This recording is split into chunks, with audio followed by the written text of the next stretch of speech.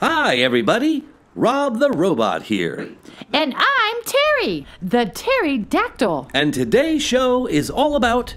Well, who can tell me what this is? It's, uh, ink splatter. Right. Uh, no. Kids, a little help, please. A spider. That's right. Ooh, scary. Does anyone know what spiders eat? Correct. Spiders eat insects. Whew. I thought he was going to say they ate pterodactyls. I wish. Joking. If you look up in the sky, you might see a steamship floating by. Rob the Robot Terry 2, Trish reporting just for you.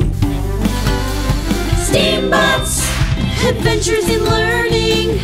Get the wheels in your head turning. Steambots, adventures in learning for you and me. Steambots. Cock-a-doodle doo! Oh, no, no, no, no, no. That's not right. Oh, yeah. Cuckoo, cuckoo, cuckoo. It's time to start the show. But Terry's not here. Well, we'll have to start without her. Thanks, Carla Cuckoo. So, spiders. Now, as you can see by this drawing. Whew. Sorry, I'm late. Again? Terry, where have you been? Oh, I got tangled up at the library. Well, with all those spider webs, you must have been in the basement. I was, and I found something for today's topic.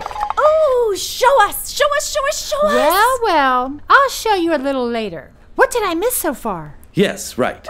Uh, where was I? Spiders, gear brain. Oh, yeah, spiders. Now, here we label all the parts of a spider. Rob, did you draw that? Why, yes, I did. Gosh, it really pops off the page. Whoa! Boy, you weren't kidding. Hey, boys and girls. My name is Spalding. You may have seen me in your backyard, your basement, or as a spooky Halloween decoration. Was that you? All those spider decorations look alike to me. Dude, what if I said all canaries look the same to me? A canary? I'm not a canary. She's a pterodactyl. And I'm a majestic eagle. Uh, no, you're a cuckoo. Well, we'll agree to disagree on that. But we spiders might look similar because all spiders have the same body parts. Like eight legs, and eight eyes, a cephalothorax, and. Cephalothorax. Oh, that's a tongue twister, isn't it, Rob? Not for me. Robots don't have a tongue. Cephalothorax. I've got it. Step on my floor tax. Well, not quite. It comes from the Greek words for head and thorax. Hey kids, can you say cephalothorax?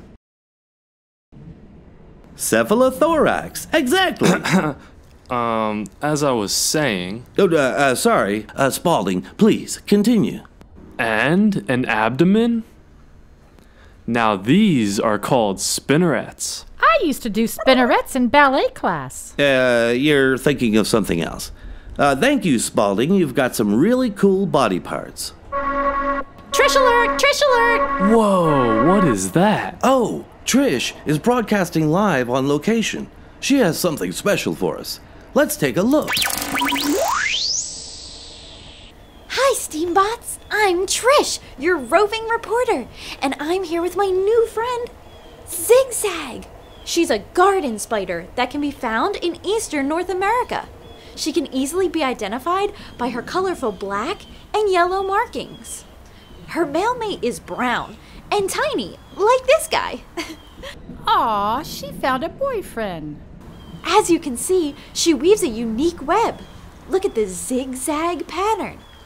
The zigzag is used to attract the insects that she eats. They're known as prey. Look, she's got one right now. Spinnerets spray the spider silk. She wraps her food in it. She wraps her food in silk. Doesn't she have any plastic wrap? Watching Zigzag eat is making me hungry.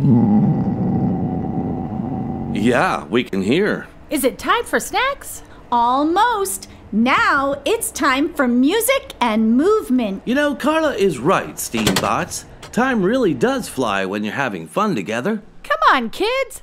Let's get up and dance together to the web wiggle. Take it away, Rob.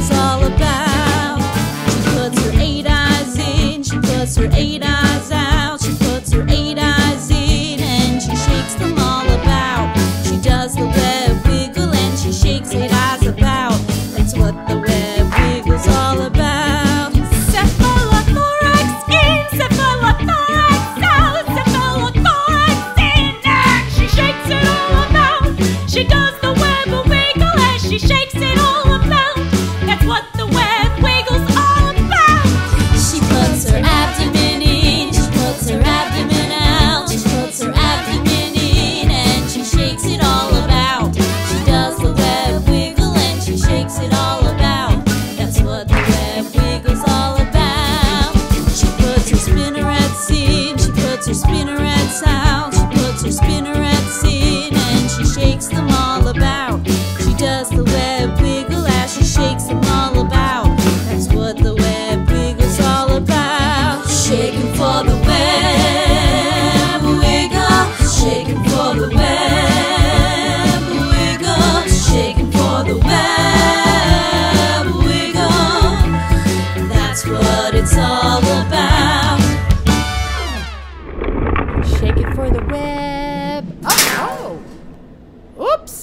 almost forgot.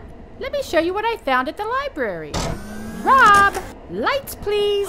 Yay! A movie! I love movies! I want popcorn and candy and chocolate and Uh, so. no, no, we're not doing all that. Let's just watch the movie. Here's another interesting fact a spider's silk is fascinating. If the threads were the thickness of a pencil, it would be strong enough to stop a jet plane.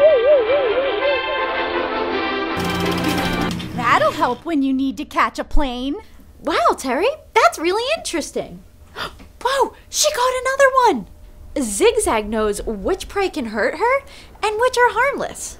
To protect herself from harmful prey, like a bee, she wraps a cocoon around it until it can no longer hurt her. When it can't hurt her anymore, she moves it to the center of the web where she consumes the meal. What do you think is poking around in there? A pterodactyl? Very funny, Rob. Hey kids, what do you think she wrapped? That's right, a bee. Oh, look at that. It looks like we have a question from a viewer at home. Go ahead, Trish. That's right, Rob. Emmy wants to ask Spalding a question. Sure. Hey, Spalding, you still hanging out with us? I sure am. What's your question, Emmy? Emmy wants to know Can you fly through the air like Spider Man? Whoa, great question. I sure can fly. In fact, spiders can actually travel thousands of feet above the earth through a process known as ballooning. You mean like windsurfing? Yeah, you could say that. Okay, so thank you, Emmy, for that great question. Boy, ballooning looks fun. Do you think I could do that? I don't know, but I know who we should call to find out. Professor Orion, incoming message for you. Hello, Professor. Hello, Rob.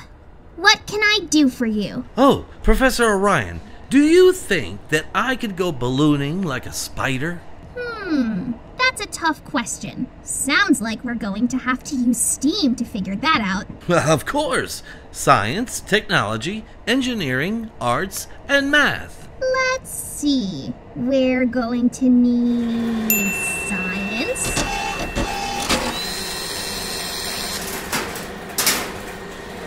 We definitely need technology. a lot of engineering, a pinch of art, and plenty of math, a key ingredient. That should do it.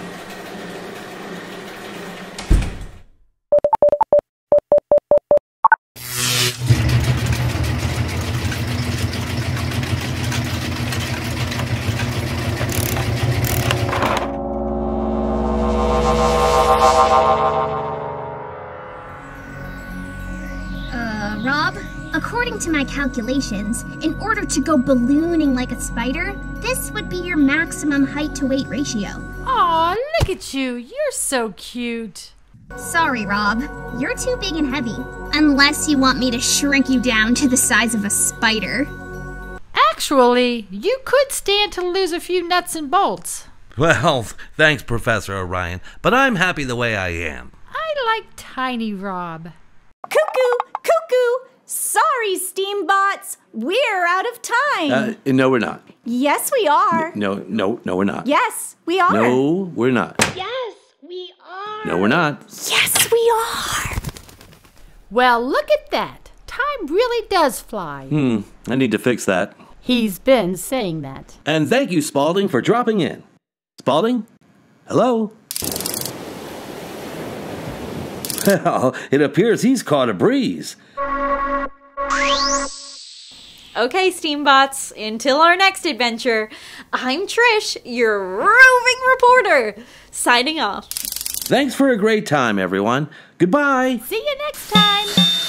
If you look up in the sky, you might see a steamship floating by. Rob the Robot Terry 2, Trish reporting just for you. Steambots, adventures in learning.